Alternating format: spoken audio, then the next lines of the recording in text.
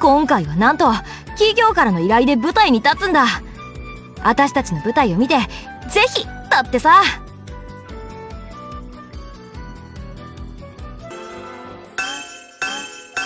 えい。いや。ん？この声はなんだ？星見か。体を左右に動かしてストレッチでもしてるのか？なあ星見。ダメだわ。また全滅。あら？どうしたの？イスルギさん。こっちのセリフだ。急に大声出したからびっくりしたよ。何やってたんだ？リビングで体動かすなんて珍しいじゃん。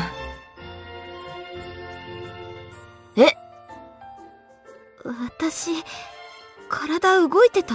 ああ動いてたけどその手に持ってるのってゲームのコントローラーか？ええ。今度の演目の題材エピックブレイブスに取り組んでいたの。いやそれって RPG だしそんなに体が動くもんでも。まあ慣れてないとそんなもんか。はあ。実はこの間もそうだったの。ナナと一緒にこのゲームを始めたんだけどその時も画面の人物と一緒に体が動いちゃって。ナナに腕を押さえてもらいながらなんとか操作したのよね。なんでそんな面白いことになるんだよ。わ私は真剣なの。だけどこのままじゃ効率が悪すぎるから少しでも慣れようとしていたんだけど肩に力が入りすぎてんじゃないか？ちょっと動かしてみてくれよ。ええあーなんか前のめりだな。もうちょっとリラックスしてみたらどうだ？こうかしら。そうそう。自分がキャラとして動くんじゃなくてキャラに何をさせるかって考える感じで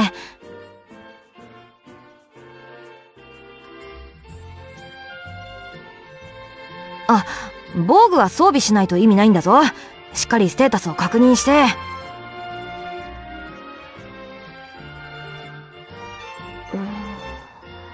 あなたって優しい人よね？急になんだよ。だって私がちゃんとゲームできるまでさりげなく隣にいてくれるじゃない。花柳さんが頼ってしまう気持ちも少しだけわかるわ。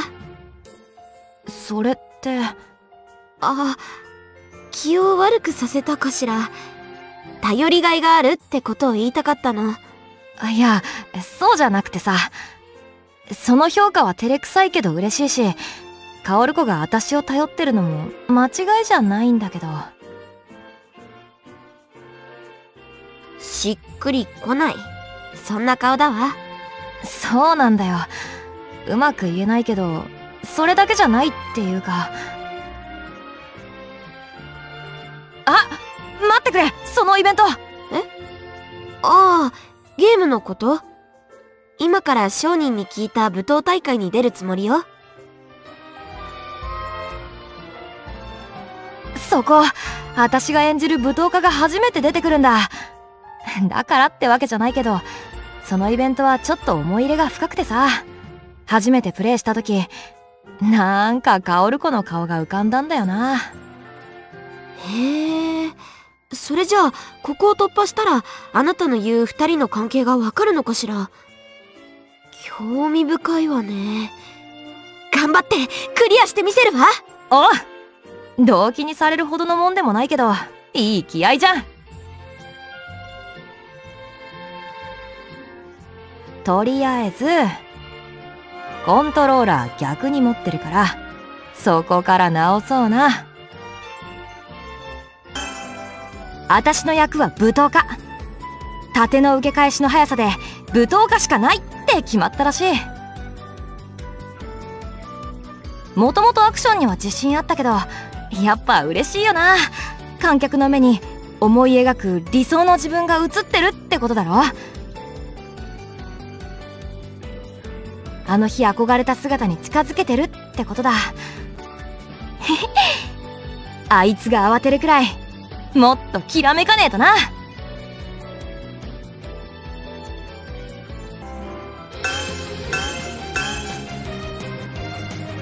やはあ？全部弾いてきやがる。まさか俺がこんなところで膝をつくなんて。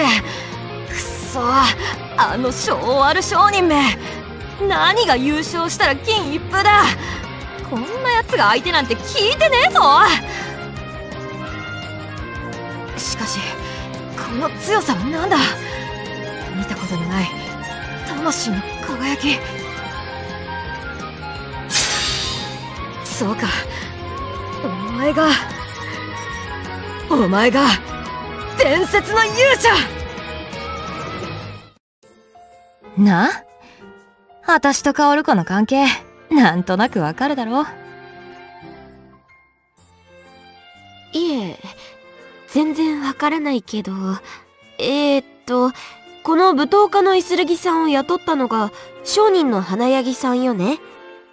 ああこの舞踏大会の優勝商品である伝説の宝玉を手に入れようと私を雇うんだ。で舞踏家は決勝戦で勇者と出会う。やっぱりわからないわ。花柳さんがあなたを頼っているいつもの構図と変わりないと思うんだけど。ああ私が言ってる薫子のイメージはその商人だけじゃなくてイベント全体の話で。待て回復しないとやばいぞ。そのイベントの後舞踏家の攻撃力が倍になるから。え？この舞踏家強すぎるわ。ここ序盤の難所だしな。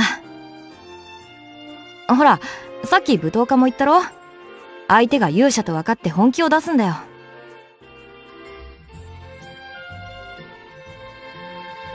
な、なるほど。負けられないと思ったのね。ああ。舞踏家は商人のおかげで生まれて初めて見たことのない輝きに出会ったんだ。今までの常識を吹っ飛ばすくらいの眩しいきらめき。いイスルギさん舞踏家の攻撃が止まらないんだけど。回復しながら防御に徹した方がいいぞそこ2ターン使って攻撃してくるんだよ。ターン？説明書にはなかったわ。ダンスのこと？いや戦う順番のことだよ。ここで急にダンスが始まったら変だろ。そそうよね。えー、っと回復と防御。変かあいつもほんと変なやつだよな。ずっと背中を追ってるのに。気づいたら後ろに回って私の背中で眠りこけてさ。遠慮なくもたれかかるから自然と背中を押されちゃうんだ。舞踏家を倒したわ！おやるじゃん。まあやっぱり体は動いてたけどな。そそう？集中しちゃうとダメね。それにごめんなさい。ゲームに意識が行き過ぎてあなたの話をきちんと聞けなかったわ。このイベントのどのあたりに花柳さんを感じたの？それは星見が必死にゲームしてる時に説明した。えー、意地悪なタイミングね。へへ。そんなペラペラ話すもんじゃないし勘弁してくれ。ほらイベントの続きを見ようぜ。負けた舞踏家はある決心をするんだ。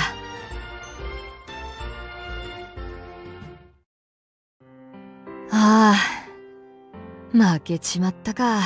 だがその強い輝きは俺の胸に刺さったままだ。